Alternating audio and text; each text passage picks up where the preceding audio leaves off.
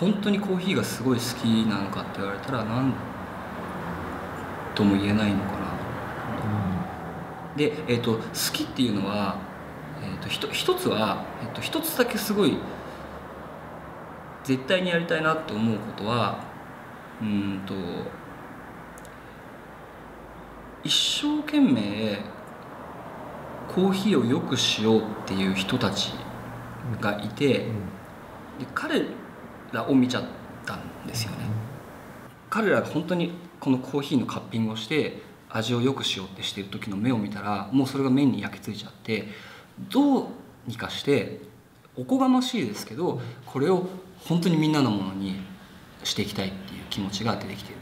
なので何が好きかって言ったらコーヒーを作る人たちの情熱が好きなんだと思います、うん、一つはね、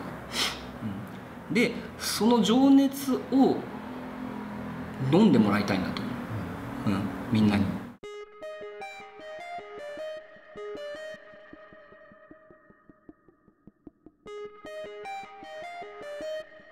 コアンドロ株式会社の大沢康介と言います。コーヒーの、えーと、機材を、えーと、今作ってます。コーヒーの出会いはですね、えーと、以前勤めてた会社が元なんですけどもメリタっていう会社で勤めてました。コーヒーのその機材を販売するマーケティングの部署にいたんですけども、まあ、それをやる中でいろんなコーヒーの専門家だとかよりその美味しいコーヒーを作ろうとその努力している専門家の人たちといっぱい触れる機会があって彼らの入れるコーヒー飲むともう全然味が違うんですね、本当にコーヒーって飲み物を飲むっていう感覚で思ってたんですけどももう彼らがやっぱみんな口を揃うっていうその香りを飲むっていう感覚に初めて触れて、うわこれすげえなと、こんなに美味しいんだなっていうのをメルタで知ったんですね。でも新しい最先端の超うまいコーヒーを作ってる人たちっていうのがやろうとしているコーヒーっていうのはまだみんなのものに全然浸透してないっていうことに気づいたんですね。この業界としてはそこのギャップを埋めるっていう作業を十分にやっていけてないなというふうに感じて、まあ、僕はもうやめてそれをやるっていうことを個人でやっていこうかなっていうふうに考えて、まあ、今回こういうふうになったのかなと思ってます。えー、これが、えーと、作ってる製品なんですけれども富士コーヒードリッパーといいまして味を調整することができるっていう特徴を持ったコーヒードリッパーですもともとはこれを使えば誰がどんな風に入れても美味しくなるっていうものを作ろうと考えてました。でも試作品が上がって自分でいろんなことを試してでコーヒーのその濃度を測定したりしてやっているうちにそれは無理だなと。そういうことじゃないんだなと。コーヒーの味って飲む人が決めるものなんだなっていうふうに考えた。だったらこのコーヒードリッパーが提供するものって美味しさじゃなくて選択肢を提供するものにしようっていうふうに発想がだんだん変わってきました。そもそもコーヒーってこれ実はお湯のかけ方で味の濃さって変わってきます、うん、単純に早くかければお湯が早く流れるので、味が薄くなるんです逆にゆっくりかけるとお湯がゆっくり流れるのであのお湯とコーヒーが触れてる時間が長くなるので、うん、味がもっとしっかり抽出されます、普通のドリッパーは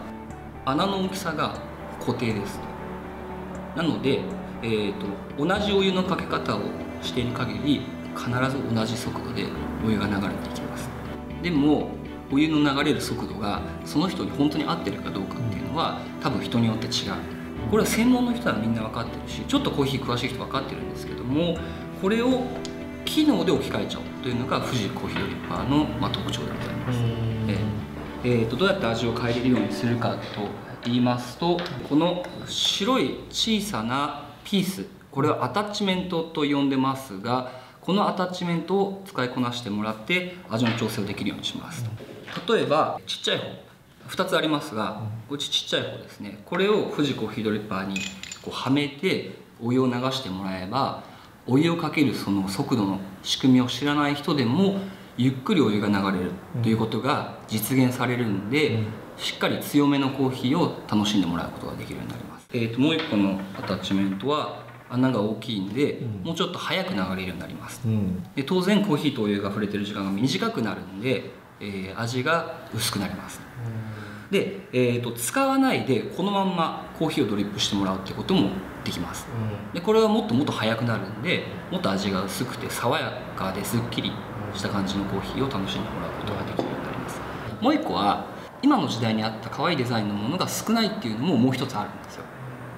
なので例えばこれは富士山の色に近いかなとか思ったりしてるんですけどのものだったりこんな黒いマットな色調のものがあっても楽しいのかなと。で、えー、とコーヒーをそんなに飲む機会が少ないとかあんまり自分の家で入れる機会がないっていう人には見た目から入ってもらってもいいのかなと思います。可愛いデザインだから使ってみたい。でコーヒー飲んでみる。あでこんな自分で入れるとこんな楽しいんだとか美味しいんだっていうふうに思ってもらってで当然機能があるんでそれもちょっとずつ試しで使ってみてもらって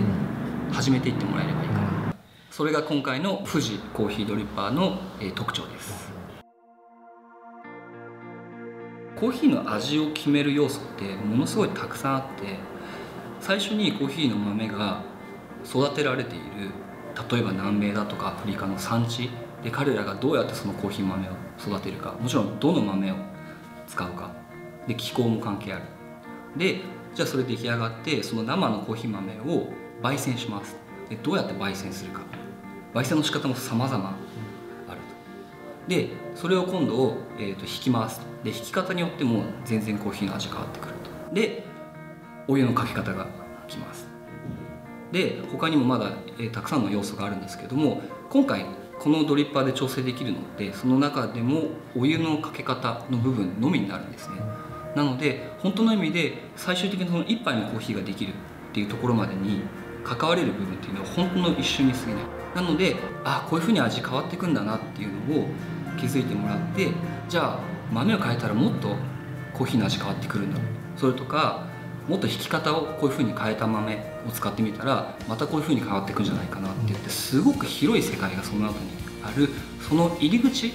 としての役割が富士コーヒードリッパーなのかなと思ってます。うん、でも先々としてはうん。本当にドリッパーを作りたいわけではなくてそれに関わる全てをいろんな形で提供していくチームとしてありたいなと,、えー、と富士コーヒードリッパーの、えーご紹介をさせてもらってますけれども、えーこのコーヒードリッパーでコーヒーの味の濃さを変えるようにすることが楽しんでいただけるようになります。でこれをきっかけに皆さんが毎日楽しんでいるコーヒーをちょっとでもいいものにできればなというふうに思ってます。皆様のコーヒーをより良いものにできるように頑張っていきたいと思いますので是非よろしくお願いいたします。